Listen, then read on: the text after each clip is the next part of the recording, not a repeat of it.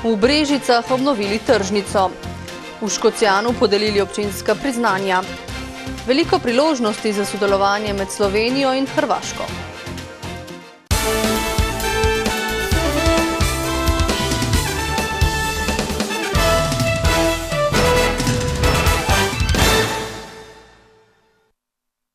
Lepo pozdravljeni.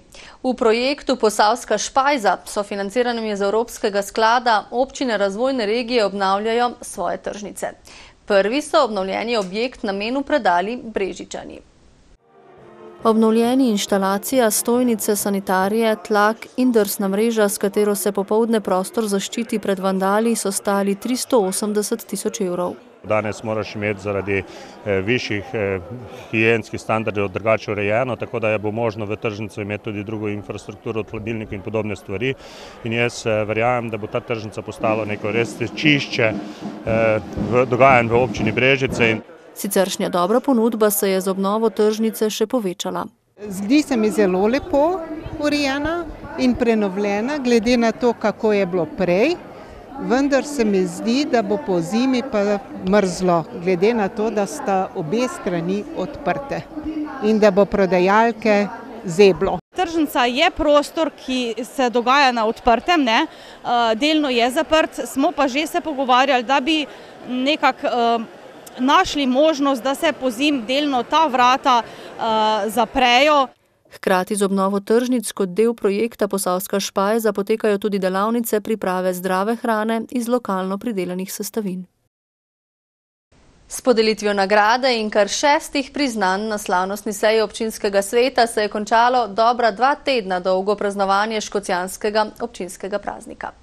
Knobleharjevo je tudi letos zaznamoval vsebinsko bogat in raznolik nabor dogodkov. V anale škocjanske občine se je pri vsega sedemindvajsetih letih zapisal Janez Lekše, nekdanji absolutni prvak v igranju na diatonično harmoniko, ki sedaj svoje znanje in izkušnje že nekaj let prenaša tudi na mlajše rodove. Sem vesel, da nekdo opazi, da pač nekaj dobrega narediš za kraj ali pa za občino, pa da sodelujemo skupaj, saj to je glavno. Tako, ne.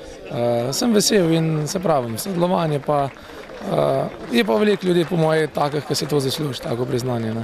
Poleg Milene Smrekar, prve predsednice nekdanjega aktiva Kmečkih žena Škocjan, so se občinskega priznanja razveselili še v tamkajšnjem turističnem društvu ter društvu vinogradnikov, ki je v družabno življenje kraja in sedaj občine tesno vpeto že več kot štirideset let.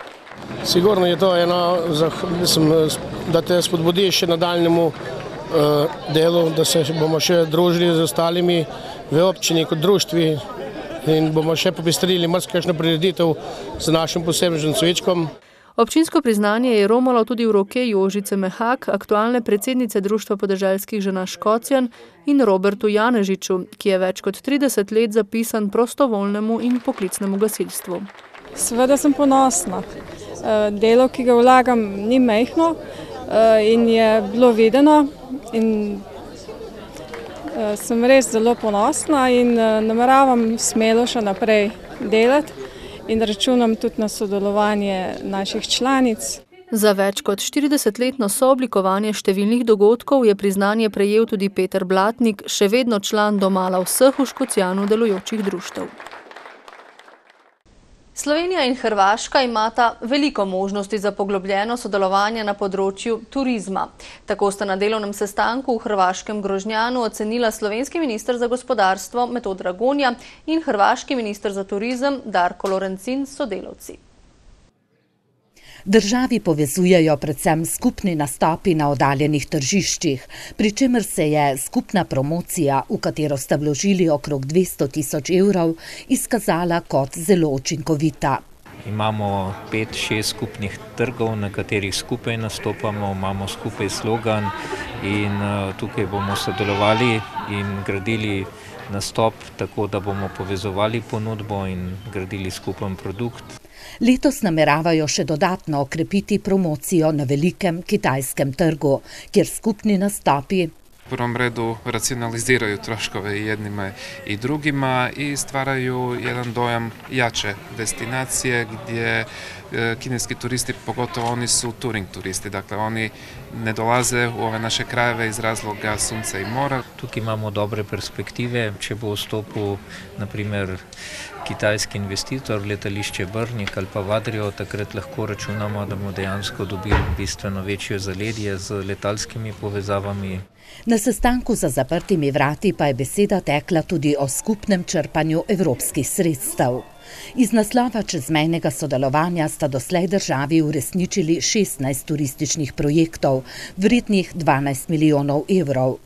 Sedaj pa pripravljajo skupna programska izhodišča za naslednjo finančno perspektivo, pravita ministra, ki poudarjata, da sta Slovenija in Hrvaška druga drugi izjemno pomemben turistični trg, o čemer pričajo podatki, da je lani, predvsem v zimskem času, Slovenijo obiskalo skoraj 119 tisoč hrvaških turistov, kar je 4,5 odstotke več kot leto prej. Slovenski turisti pa so bili po številu prihodov in nočitev na drugem mestu na Hrvaškem, takoj za Nemci. Semiški občinski svetniki so se sestali na zadnji seji pred poletnimi počitnicami in obravnavali 16 točk dnevnega reda.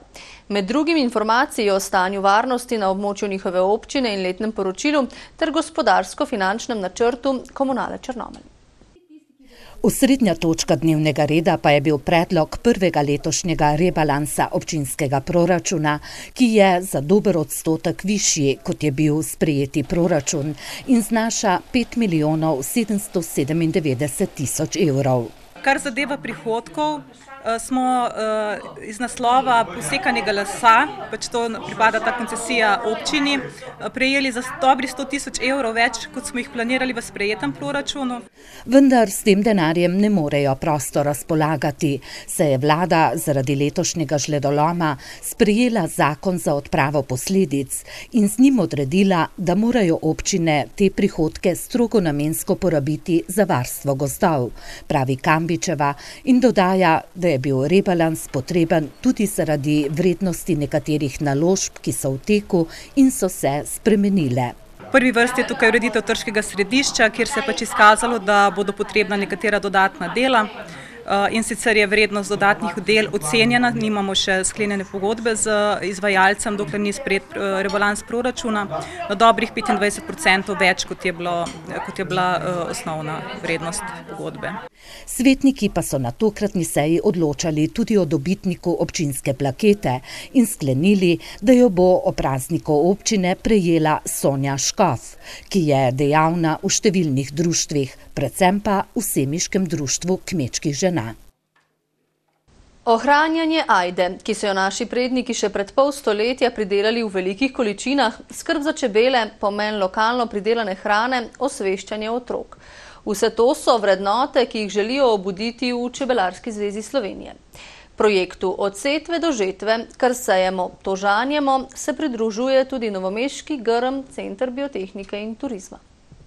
Kmetijske šole po Sloveniji želijo spodbuditi setov in žetov medovite ajde, uživanje izdelkov iz ajde in povečati prepoznavnost tega žita, ki je priložnost tako za kmete kot čebelarje in potrošnike. Ajda se je sejala pred 400 leti, več kot 400 leti. S časoma smo pozabili na ajdo. In ajda je pomemben del v prehrani za uh, strnišča, da, ni, da niso uh, prazna strnišča po, po žetvi uh, pšenice. Seveda je pa tudi korist za, čeba, za čebele, normalno. Čebelam namreč paša najdi zelo ustreza. Cilj uh, tega projekta je v prvi vrsti promocija seveda uh, ekološko predelane hrane, čuvanje narave, predvsem pa, da zasejemo ajdo kot uh, kvalitetno živilo, naj bo to predelano v uh, kruh, uh, razno razne uh, ostale stvari. Danes je medonosno ajdo na sevnem simbolično posejal predsednik državnega sveta Mitja Bervar. Na tamkajšnjem posestvu sicer vsako leto posejajo približno 5 hektarov ajde. Naš namen je tudi v ajdi videti perspektivo v bodoče, predvsem pa razvijati tiste sorte, ki imajo boljše rezultate. Ne samo pri pridelku, pa kakovosti, ampak tudi za čebele. Projekt bodo sklenili novembra s predstavitvijo pekovskih izdelkov iz žiti najde.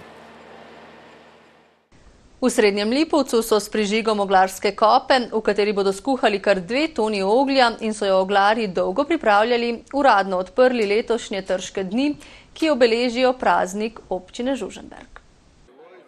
Vodilna moža in idejni vodji prižiga oglarske kope v srednjem Lipovcu sta že vrsto let Franc Vilmar in Branko Skube. Anketen dela žije ne, in s pomočjo dobrih ljudi, nas oglarji, oglarski kljub srednji Lipovc, mladih fantov, smo pač tulele vsako leto. Oglarstvo je bilo nekdaj v Lipovcu zelo pomembna dejavnost, danes pa ima prižig kope bolj simbolen pomen. Tam, ko ni bilo dosti kmetije, služili, dosta otrok je bilo in no, kako je bilo treba preživeti. Ne. In smo potem eh, tule oče tu delal, dosti je nas preživel, da je nas gor spravil in sem tam se pročet malo naučil ta stvar dela. Ne. Letošnje trške dni zaznamuje zelo bogat in raznovrsten program, tako da v Žuženberku ta teden pričakujejo veliko obiskovalcev. Če bo vreme, kajti od tega je največ odvisno, pričakujemo preko 6000 ljudi v vseh teh dneh, na vseh teh prireditvah. Moram reči, da imamo še nekaj otvoritev. Ena teh je tudi odprtje visokotlačne kanalizacije z dvora v Žuženberg. Dogodki se bodo tako vrstili vse do vrhunca. Predvsem pa seveda nedelja, ki je prav gotovo nekaj posebnega in čar za oči in dušo.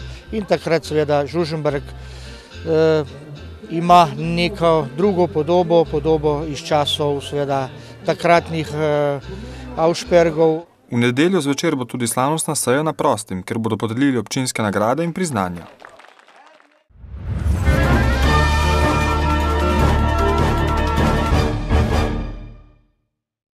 Svoje kandidate za poslance v Državnem zboru Republike Slovenije v šesti volivni enoti je predstavila tudi stranka Mira Cerarja.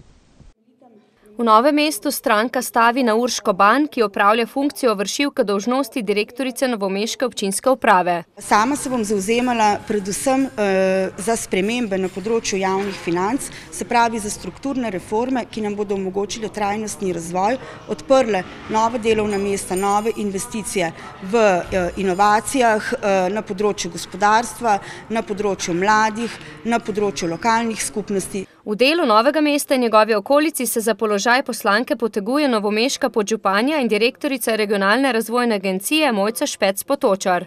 S poudarkom na pospeševanju gospodarske infrastrukture, prednostno razvoj malega gospodarstva in pa zaposlovanje mladih, zagotavljanje pogojev, da se zaposlujejo mladi, ko končajo šolo oziroma študij. Hkrati pa, glede na to, da sem prostovoljka, želim in vem, da je treba ohranjati dostojanstvo posameznega človeka. V občinah Trebnje, Mirna, Mokronok, Trbevno in Šentrupert je kandidat SMC, direktor Javnega sklada Republike Slovenije za kulturne dejavnosti Igor Tršar. Zauzemal se bom nekako za pravičnost, za napredek Slovenije na različnih področjih, ne samo kulture, izobraževanja, tudi znanosti, socialnega skrbstva, tudi to področje zelo dobro poznam, saj sem v Trebnem več kot 20 let deloval v pomoč duševno prizadetim otrokom. Vzpostaviti pa je treba tudi novo politično kulturo, meni Tršar. V Beli krajini je predsednik stranke Miro Cerar predstavil kandidatko Duško Vlašič, sicer profesorico likovne umetnosti. Zauzemam se za povezano Belo krajino. S tem mislim na povezavo med belokrajinskimi občinami, na skupne projekte, ki bi prinesli sredstva za zagon gospodarstva in novo upanje za življenje tu v tem obrobnem delu Slovenije. Ter seveda mislim na povezavo Bele krajine s Slovenijo, sosednjo Hrvaško in z ostalim svetom. Tu ima Vlašičeva, ki verjame v velike zmožnosti Bele krajine, v mislih predvsem prometne povezave. Za nami je še en vroč dan, a po napovedih vremenoslovcev to ne bo trajalo. Za jutri so celo napovedani močni nalivi z močnimi sunki vetra in tudi toča. Širile pa se bodo od zahoda proti vzhodu. A upamo, da bo vreme prizanesljivo. Nasvidenje.